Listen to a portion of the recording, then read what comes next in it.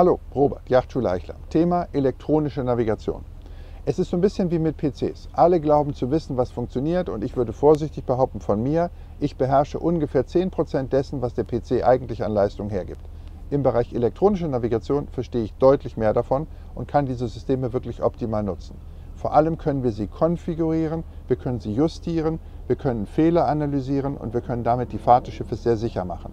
Das vermitteln wir gerne in den Kursen elektronischer Navigation. Kleine Gruppen auf dem Schiff mit Radar, mit elektronischem Kompass, mit Kartenplotter und entsprechend GPS-Navigation, Wegepunkte. Herzlich willkommen.